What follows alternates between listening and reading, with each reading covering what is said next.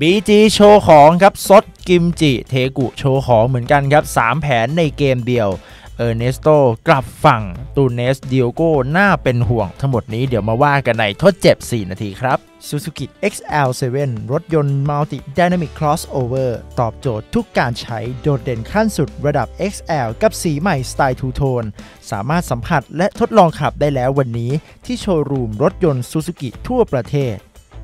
ลูกค้า AIS ดูสดบอลไทยฟรีกว่า 800 แมตช์เพียงเปิดเบอร์ใหม่หรือย้ายค่ายมาเป็นลูกค้า AIS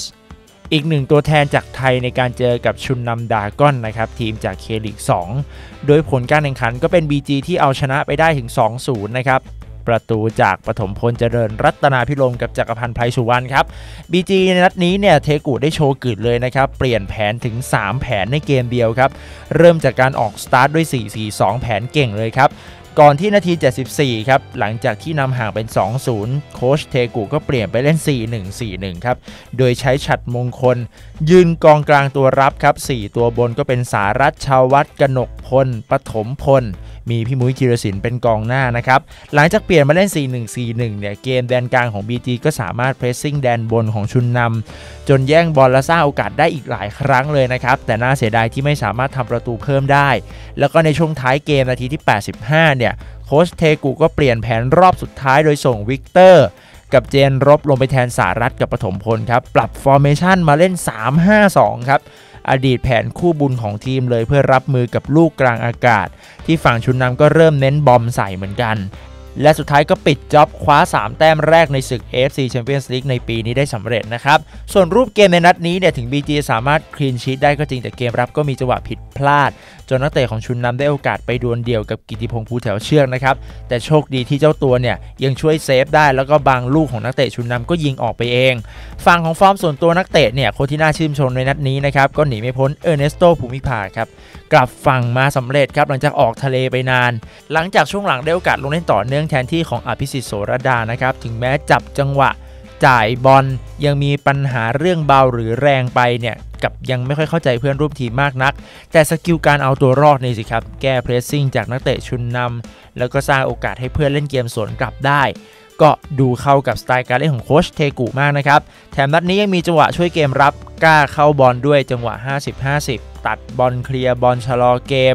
ฟอร์มแบบนี้ถือว่าสมแล้วครับ ที่ได้ติดทีมยอดเยี่ยม ACL ในนัดแรก ส่วน 2 นักเตะที่แอบดูน่าเป็นห่วงมากครับ นั่นคือ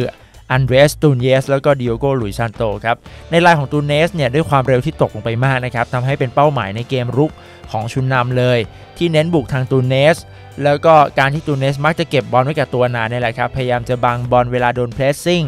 ก็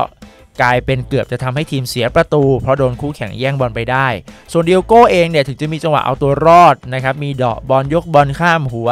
แต่จังหวะการเล่นโดยรวมเนี่ยทั้งการเลี้ยงการจับบอล first touch ก็ถือว่าน่าผิดหวังนะครับในเกมนี้ ถ้าไปเทียบกับเดียโก้ที่หลายๆคนจดจำได้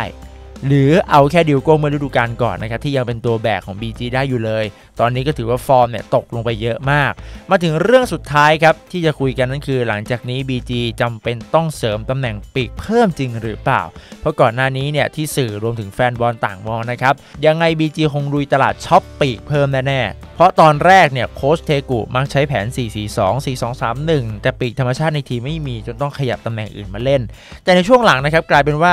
เทกูเองหันมาใช้แผน 4-4-2 หรือ 4-2-2-2 ที่ใช้ playmaker 2คนทำเกมหลังกองหน้าแล้วก็เน้นตัดเข้าในเพื่อทำประตูนะครับ ส่วนเกมริมเส้นก็เป็นหน้าที่ของแบ็ก2ฝั่งเติมขึ้นมา cross กันไป ตำแหน่งปีกที่ดูต้องการมาก ๆ ก็อาจจะไม่ใช่ตำแหน่งที่ต้องการเสริมมากขนาดนั้นแล้วครับ เพราะนักเตะที่เป็นเพลย์เม k เกอร์ตอนนี้มีถึง 4 คนครับ ทั้งกนกพลวรชิตสุมัญญา แล้วก็นัทพลวรสุด แถมยังมีปฐมพลที่เล่นได้ทั้งกองกลางตัวรุกแล้วก็ปีกด้วยนะครับ แต่สุดท้ายยังไงก็เชื่อว่า BG ก็คงเสริมปีกอย่างน้อยๆ 1 คนอยู่ดีนั่นแหละครับทุกคน เพราะจะให้เล่นด้วยวิธีการแบบเดิมๆ ยังไงวันนี้คู่แข่งคงต้องจับทางได้แน่ๆแต่ที่แน่ๆเลยครับ มาแชร์ความคิดเห็นกันหน่อยครับ เพื่อนๆที่ได้ดูเกม BG เมื่อวานนี้ รู้สึกยังไงชอบตรงไหนคิดเห็นอย่างไร ก็เลื่อนมาคอมเมนต์ใต้คลิปกันเลยนะครับ และนี่คือทั้งหมดของทดเจ็บ 4 นาทีครับ